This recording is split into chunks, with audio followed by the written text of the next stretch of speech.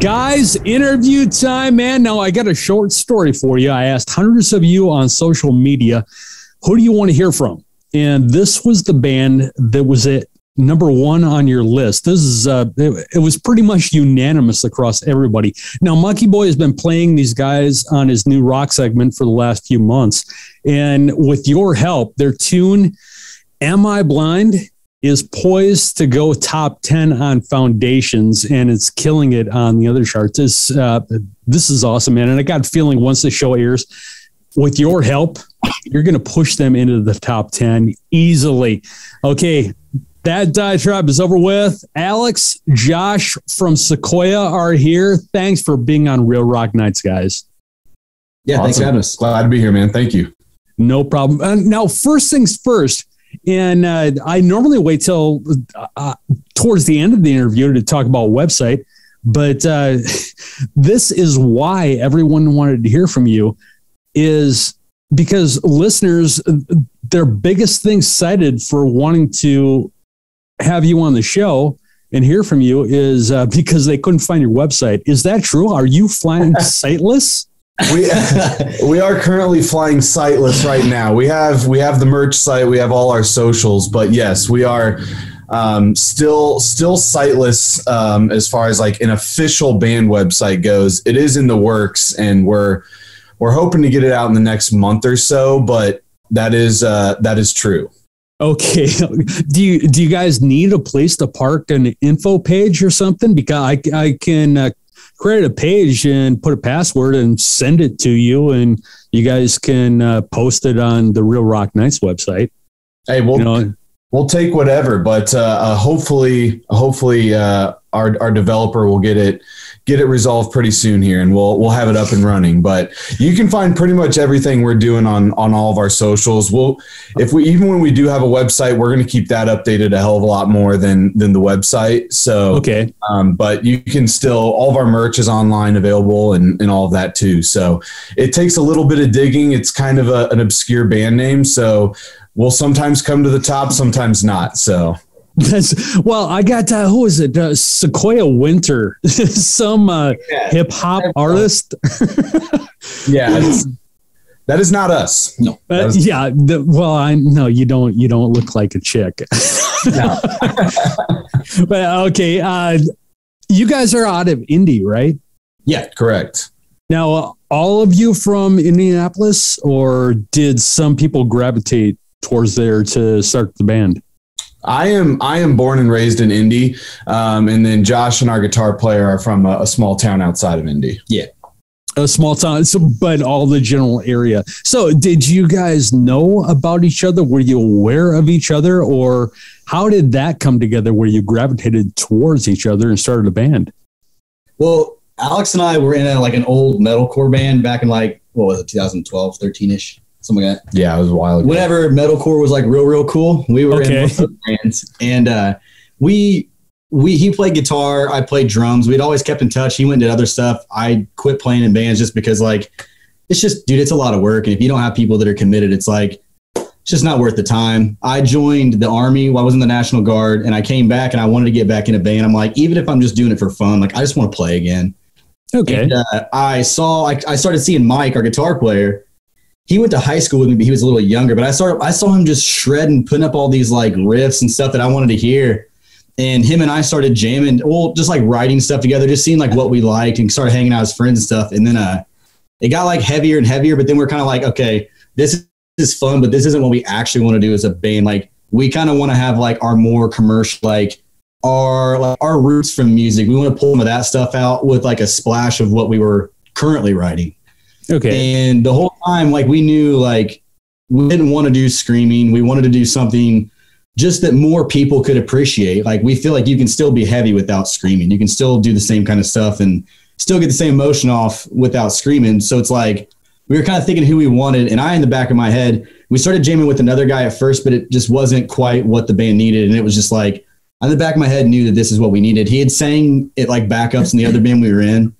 And dude, from the first time we heard it in the studio with Alex on it, it was literally perfect. And him and I had talked about create. It's funny because what Sakoya is is what him and I had talked about back in the day that we wanted to create. It's just like it's weird how you have to go away and do different things to like make the connections to all bring it back. But like this band, what we're doing now, what's cool is like, dude, this is like what we set out to do from early on. So it's fun. So it's it's almost like you. uh How do I say it?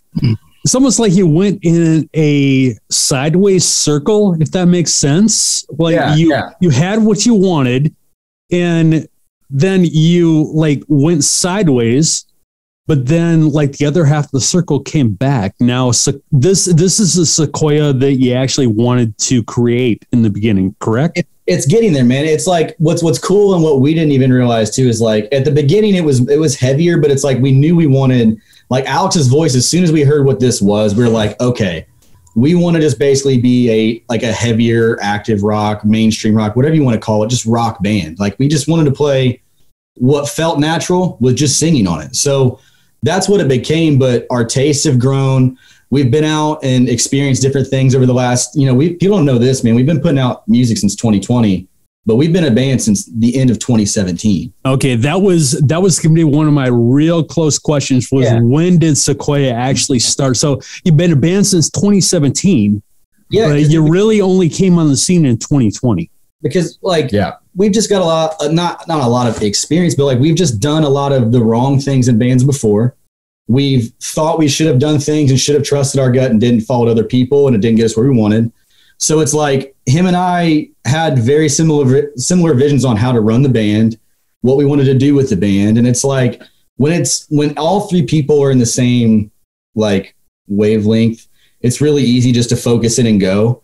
And that's as soon as we knew we had something too, because like everything we did, it's just like it kind of went this way. But what's cool, what I was getting to is like the our tastes have changed over the last years, and it's like we've gotten to the point where it's like instead of back in the day when we would write songs, we would be like, hey, we want to go out and write a song just like this, and we would demo we would figure out what we do.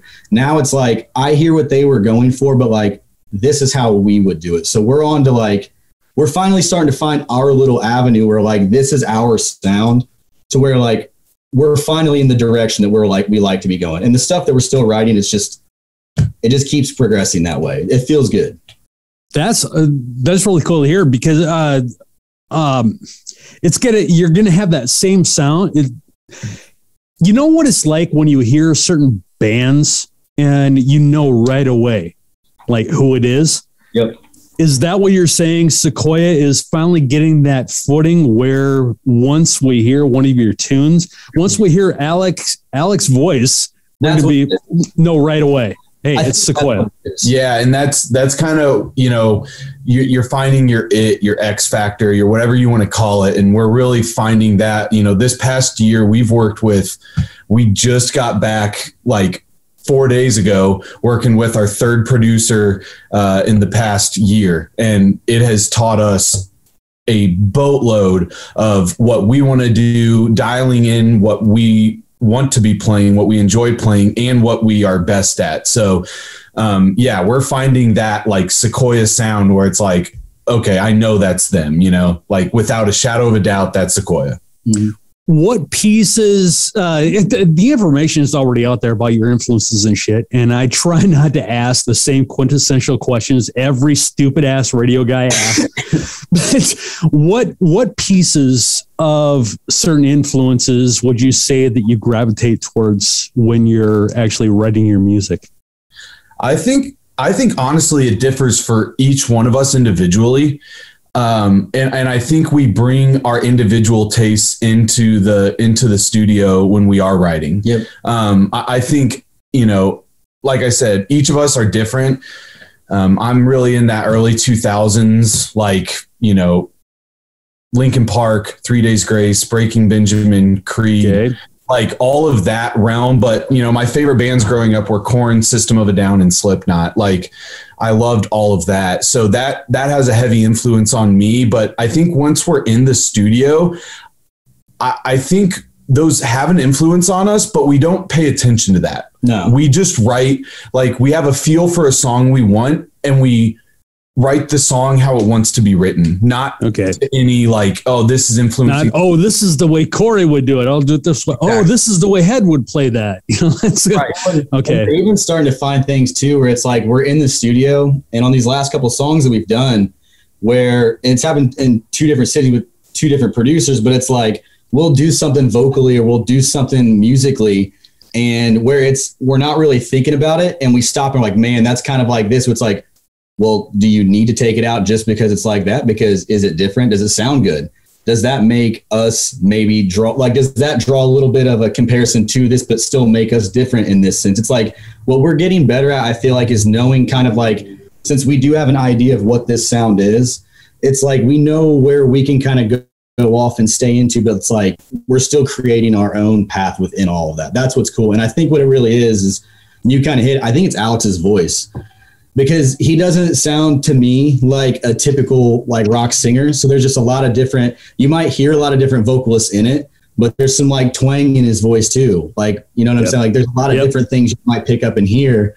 And what's cool now for us is we're figuring out how does that work within this heavier, aggressive sound. And what's cool, and it's more in the stuff people haven't heard yet that's going to be coming out in the next couple months, is it's it's a really cool like play off of each other that we've like we really really like like it's it's something that we're going to keep driving and, and running with for a while it feels good to us well like uh now you only really i've really only heard anything off this last album and i heard a little bit off of uh um oh god damn. Now I'm now I'm uh, blanking. What was Soul? What in hell was that song? Soul. Wasted Soul. Wasted Soul. Thank you. but uh, I heard some of that. I so I have heard like a little progression as far as like years, like or time going by rather. Yeah. And uh, uh, um, now you're saying that uh, you're. How, how much do you feel you're growing? as far as just just within the last like couple years? I would say last year. Oh my gosh. I well, because we started writing these songs in 2016. 2016 to when we released it, you know, mm-hmm. we had we had we got some progression. But I think from when we released our first single Lost and Reckless in 2020 to now, we've gained probably 10 times the experience we did from 2016 to release time. I mean, we've worked with some really, really great people. I mean, we've worked with, uh, Am I Blind was done with Zach Jones out in LA, who does uh, all of Fever 333 stuff. That's why it sounds like that. Yeah. Okay. Yeah. Zach's he's, the man. He's the Zach's man. He man. he did that. He did the new Crown the Empire album. Um, he's done a lot of of really great people. Um, and you know we've we've gone on to work with uh, Andrew Baylis. Andrew Baylis, who just finished up the Sleeping with Sirens album. He does all of Jelly Roll's stuff. Varsity as well. Varsity. And then uh, we just got back four days ago from working with uh, Jonathan Dolce, who just did the new uh, Cane Hill singles. Oh, kick ass. So we've we've just gone kind of shot for the moon. I mean, we've even written with uh, Clint Lowery from Sevendust. We got a song with him that we wrote. Like we've just kind of uh, shot for the moon on who we want to write with and who would be the best fit.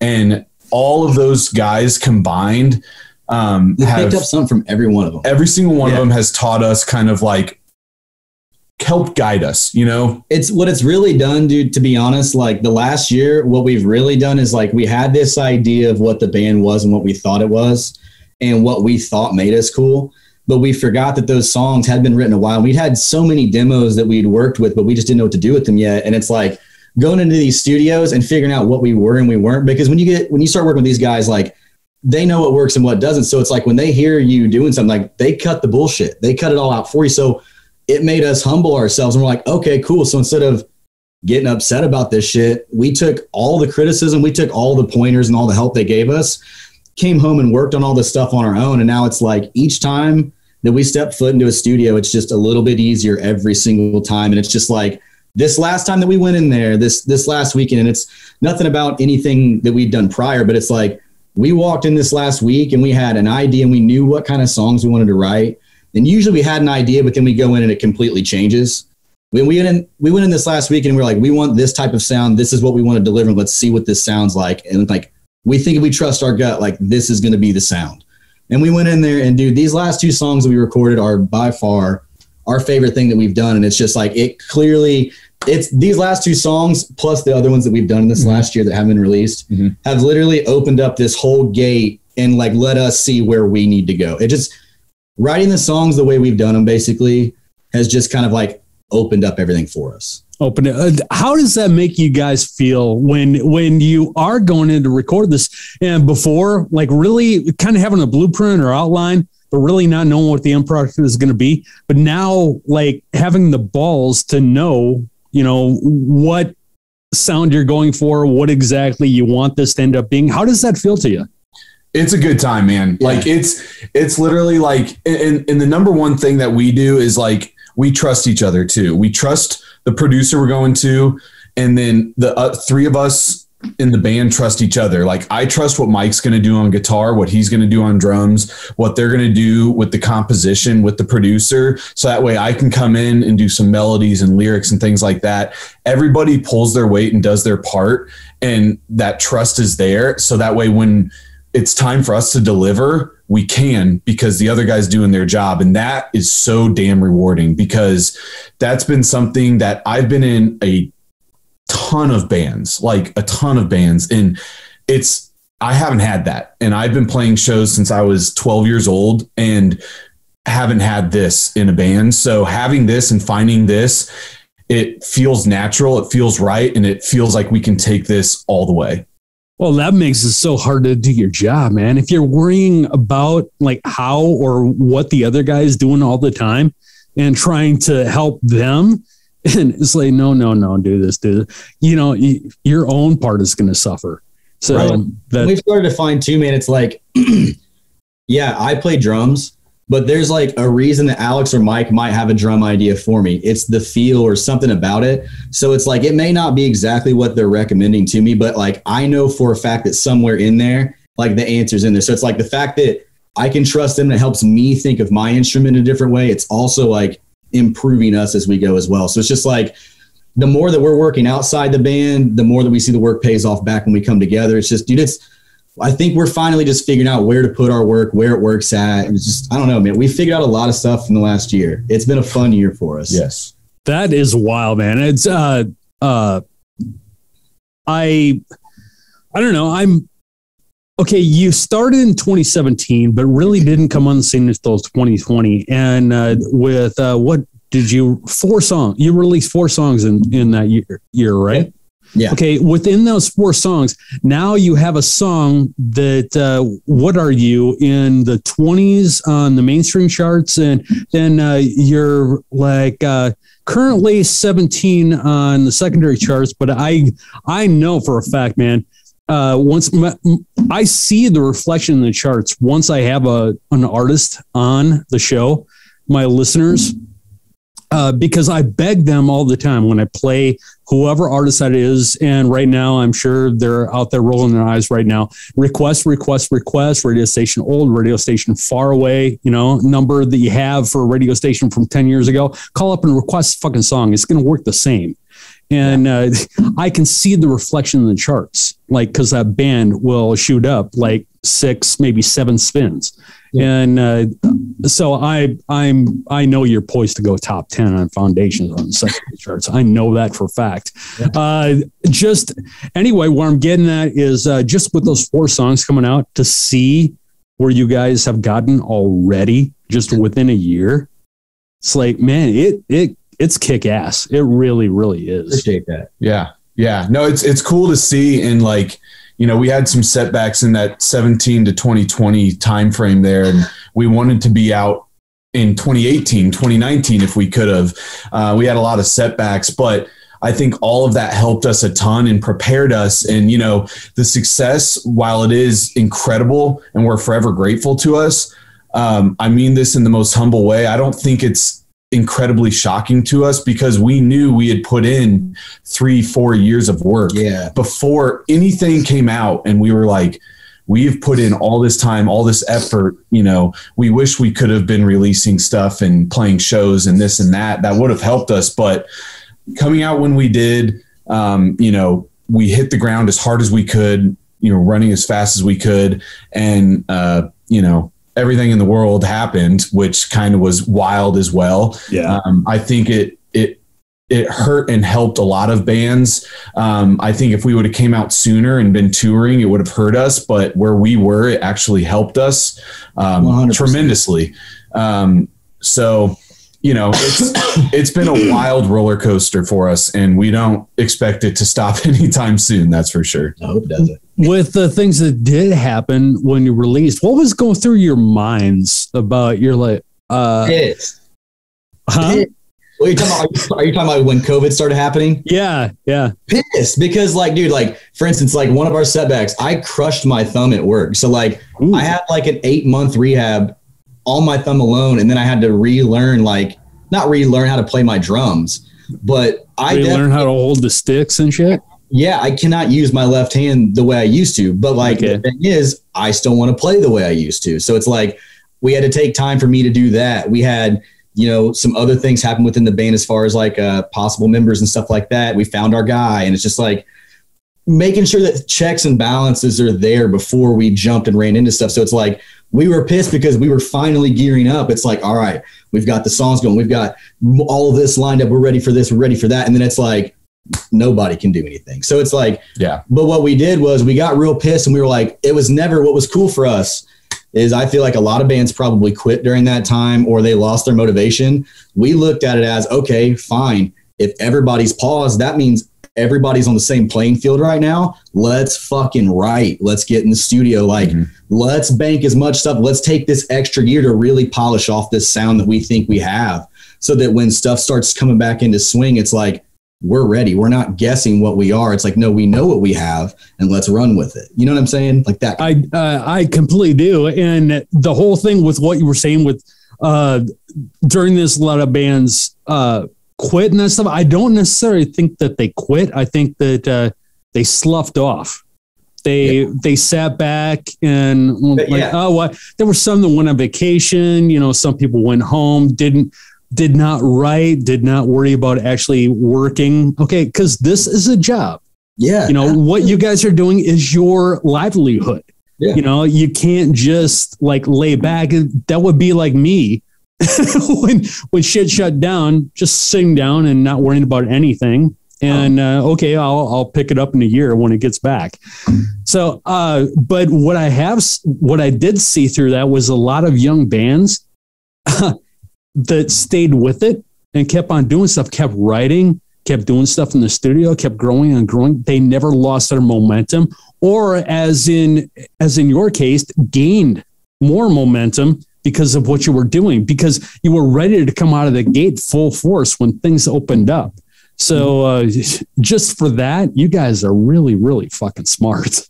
Thank you. We've been trying to do it that way. So it's good to have someone notice that every once in a while. um, guys, uh, now, like I was telling you, uh, uh, right now, Am I Blind is number 17 on Foundations. And I know that uh, you're going to be, uh, well, I can't let the cat out of the bag. Foundations will kill me. But I know where you're going to be like uh, coming up this uh, this weekend. Uh, so I'm not going to be playing you for probably uh, about 45 minutes or so, uh, playing Am I Blind, rather but I would like to play a song out of the interview. What, in your opinion, is your favorite Sakoya song outside of Am I Blind? The one that we just recorded.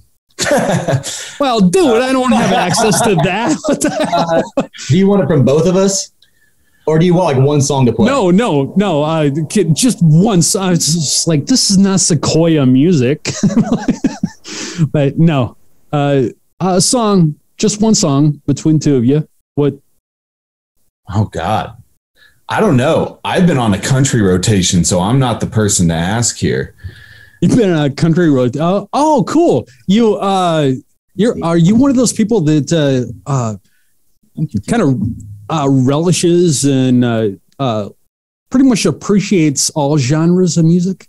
I, I definitely do. We I, both do. We all I do. yeah, I I listen to a lot of country. I listen to um, a lot of uh like movie scores, like you know anything. Of course, Hans Zimmer is amazing, and any any big theatrical scores. I love that, and then I also love some really cool like acoustic indie artists. Um, just acoustic and sad songs. I don't know. Sometimes it's I love it. So um, I appreciate a wide wide range. Does that uh, do you feel that adds to the way you sing? I okay. I know it does. we'll, we'll say this: we went down and recorded in Nashville with uh, with Baylis, and I don't know if it was Nashville coming out of me or all the damn Luke Combs I've been listening to, but I hit the first, and it sounded like Luke Combs was in the damn booth. So, uh, dude, I had to dial it back just a tad. It's like every once in a while, like it's probably every time, like him and I are just doing demos, like in his basement, just figuring songs out before we go to the studio I'll be tracking it and he'll sing something and I'll be like, yo, that was cool, but like if we were in a country band. Like, we, can't, we cannot do that. Well, one one thing about that that's kind of cool though, uh, having a singer that uh, has that ability to uh, turn it on and turn it off. There is uh, Southern there rock. Is. Southern yeah. rock is really big right now. That sound is really big right now. Actually, uh, uh, one of the one of the, the record reps I work with uh, pulled a band. There's a town about uh, 20 minutes from here called uh, Fort Smith, Arkansas. And uh, he pulled a band from there. And when I saw it on his priorities list, I was like, what the hell, dude? Because uh, my promotions director used to date their bass player. They're a country band. When I saw that on, I was like, what the hell? It's like, uh, concrete marketing is like active rock. What the fuck? They're crossing and over. Then I said something to him, and he's like, "Listen to the singer." I'm like, "Yeah, but listen to the slide guitar." And I was like, "What the hell?" and now they're on their second tune, and uh, hell, uh, I think they're like in the 30s on Foundations charts already, and they are, like you said, crossing over. It's mm-hmm. like I can already tell the singer is singing differently than he was before, and the music is not the same. Well, I can tell you I can tell you in the next single that we're going to release here soon, you're going to hear some twang. Like it's not like it's not you'll hear it. Like you'll you're going to hear stuff out of his voice in like the next 2 to 3 songs that I mean it's different each song but it's cool. It's just an evolution of it's basically what it is is instead of trying to find cool things to sing on songs, we find the coolest way that he can sing on a song. If that okay. makes sense. Like instead of just be like, this sounds like it should have this, it's like, okay, but what are your strengths? Yeah. You would sound sick ripping this kind of thing on it. Do the sickest version of that. So okay. oh, okay. You kind of that's the way I actually like artists and bands to do covers. I yeah. don't want to hear like karaoke. No. You know, do it yourself. If it's like like say if it's a Sakoya cover, make it sound like fucking Sakoya. You know, I don't want to hear it done like Aerosmith or, you know, yeah. it's like, uh, not that you look like Steven Tyler or anything. nah. But uh, have you guys settled on a song yet? Okay, so uh, a song, a non-Sakoya song, right? No, no, no, a so- Sakoya song. Oh, a Sakoya song. I would say Lost and Reckless. I would, yeah, I would say, I would say Lost and Reckless. That yeah. one's, that one's got, uh, that one's got a great hook, and that's a, a crowd favorite for us when we play live. So yeah. Lost and Reckless for sure. Okay, all right. Uh, Lost and Reckless. You got it on all the socials, and uh, your merch store. Where do you have that parked right now? We got that on. Uh, it's, I believe, uh, all the socials are uh, he has to look it up. I do. I do. I'm not even lying to you, man. I uh, well because all of our social handles are Sakoya Music. Uh, okay. But our merch store is sakoya.bigcartel.com. So, oh, okay. So uh, we're Big Cartel. Over Big Cartel for now. The best, cheapest way for a small independent band like us to get it up and running until the uh, the site is fully functioning. That's and uh, uh, Music buy their merch, man. Support Sakoya. Help them. I mean, you guys are uh, growing musically incredibly. So uh, we got to get you to grow financially. Hey, like, that's as, uh, as fast as as preach, brother. preach, brother. That is one thing people don't understand. Everything we have done, we are an independent band. We are independent artists. We have no support. We have no management or label or anything like that. So I noticed that everything you've heard recorded has been self-funded everything we do sure every merch run like it's all out of the passion for doing what we love to freaking do. Yeah, because we That's- love to make music for you guys so much. Why are you saying that like you're a dick? Just no, I love it. I really do. Do we? love the shit out of it. Did we had we, we played our first show? Uh, when was it? We finally got a venue. Couple months could play- ago. Yeah, a couple months ago. And dude, literally, like we did it back in the hometown because it's like I wanted our first show to be for people that really knew. Like I didn't want to just okay. I didn't want to go and open a show. Like I wanted it to be in a venue that was smaller. That way, like the people that have really been listening to the songs for Mhm. the last two years, like the people that were in our home, like even before people been listening to songs, like the ones that had heard the demos before they'd been released, like I wanted them to have that night with them first. And what was so cool is I would be willing to bet almost 80% of the people that came there either had one of our shirts or bought a shirt. And it's just like, dude, like seeing that kind of stuff. Oh out there, wow, I was gonna say that had to be wild. Dude, That was people, cool. people don't understand how cool that shit is for us. Like, yeah, it's cool to like have a shirt bought for your band and stuff, but like, dude, to see it, like we came up with those designs. Like Gabe, our buddy that does all of our stuff, like we sat down and crafted all this, put it on shirts. Like, Yeah. we didn't pay other people to do this. Like anything that you see that we've got, like we've put together. Every song, music video that you've seen, like the Wasted Soul video, for instance, we put that together within 24 hours because the whole video fell through and the song had already been uploaded and ready to go to Spotify. So we had to have a video for Oh, it. so you had to have some. Okay. Dude, so we've got like, dude, the scarred video with all the flamethrowers and stuff. Like, we did all of that. Yeah, we, like, we've we done all bought of it. flamethrowers, had them shipped here, and did it ourselves. Like we just I wasn't going to say it, but yeah, we did. we did. Is, it. isn't there like a background check for that shit? No. You know, surprisingly, when it's just straight from China, they don't really check. So, you got Um, flamethrowers from China. and I'm still here to talk about it. So, We're going to prison. yeah, I got blackmail material on Sakoya. yeah, exactly. No, but I honestly, I, I can say this for all of us. Even if it wasn't for all the, you know, the plays and stuff, we would still be playing music every single day. Yeah. But honestly, the fans and people telling us they love it is what keeps us going every single day to do it. Okay, that's awesome, man. Well, uh, go out, support Sakoya, and uh, help them keep food on the table. Seriously, man. and hopefully, hopefully they'll do a couple more songs for us. Lost and Reckless is the tune. It is here, right here, right now on Real Rock Nights. Thanks a lot for being here, guys. Thank, Thank you. you.